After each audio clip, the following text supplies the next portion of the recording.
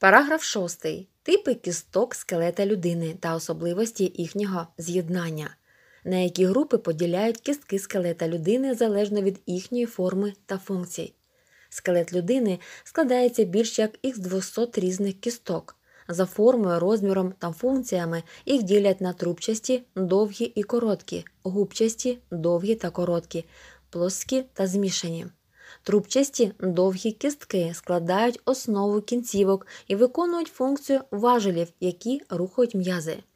У них розрізняють видовжену середню частину тіла та два розширені кінці головки.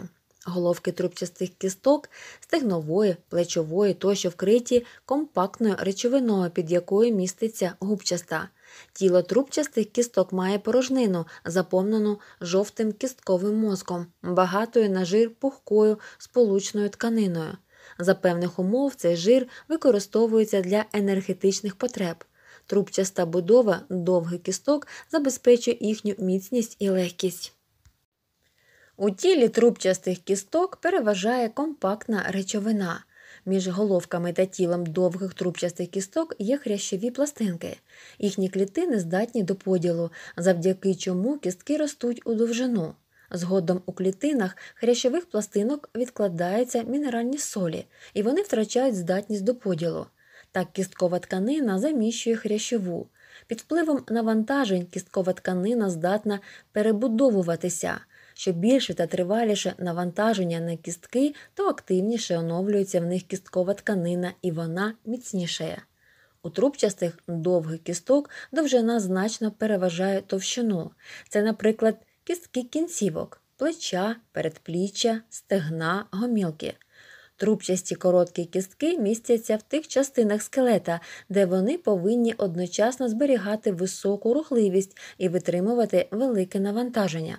Це, наприклад, фаланги пальців, кістки плесна, п'ястка, які входять до складу скелета верхніх і нижніх кінцівок. Зовні кістка за винятком суглобових поверхонь укрита оболонкою, окістям. Це тонкий, але дуже щільний шар волокнисної сполучної тканини, який зрісся з кістковою тканиною. Окістя містить багато кровоносних і лімфатичних судин, нервових закінчень. Клітини внутрішнього шару окістя здатні ділитися та утворювати нові клітини кісткової тканини. Завдяки цьому кістка потовщується. Клітини окістя в разі переломів кісток починають активно ділитися і забезпечують їхнє зростання. Отже, окістя забезпечує живлення кісток, їхнє потовщення, а також зростання після переломів. Суглобові поверхні кісток, вільні від окістя, вкриває суглобовий хрящ. Губчасті кістки складаються переважно з губчастої кісткової тканини, вкритої тонким шаром компактної речовини.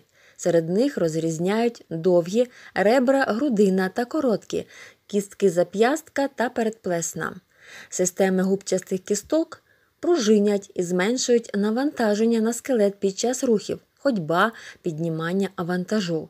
Плоскі кістки побудовані переважно з губчастої речовини, вкритої тонким шаром компактної. Це, наприклад, тазові кістки, лопатки, лобова кістка, тім'яні кістки. Змішані кістки складаються із частин, які мають різну форму будову і походження. До них належать хребці, у яких поєднуються елементи коротких трубчастих тіла та плоских відростків кісток, верхньощелепні кістки та інші. В окрему групу об'єднують повітроносні кістки лобову, верхньощелепну, клиноподібну, гардчасту. У них є порожнини, вистелені слизовою оболонкою та заповнені повітрям. Як ростуть кістки? У новонародженої дитини скелет складається переважно з хрящів.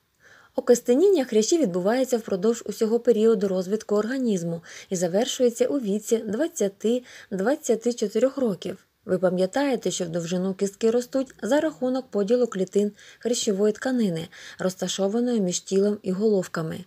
У товщину кістки ростуть завдяки розмноженню клітин внутрішнього шару окістя.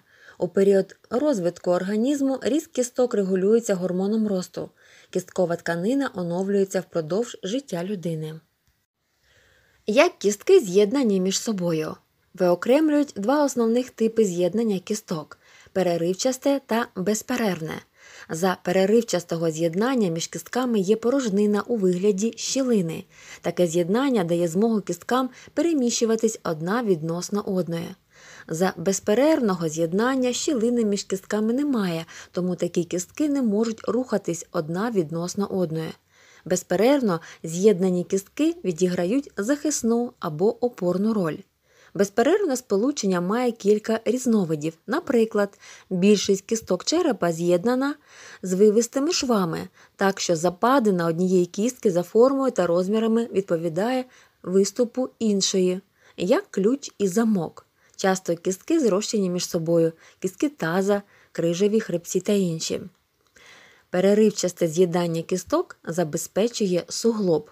Забудовою розрізняють прості і складні суглоби. Прості суглоби з'єднують дві кістки, складні три і більше.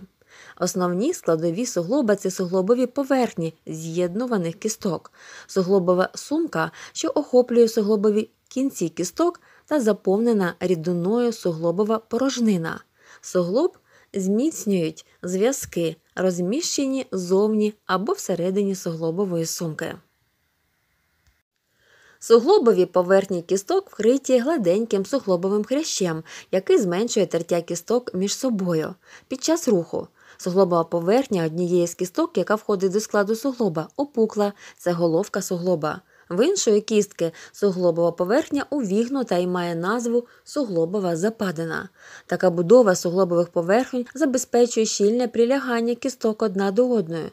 Цьому також сприяє те, що суглобова порожнина герметично ізольована і тиск у ній менший за атмосферний.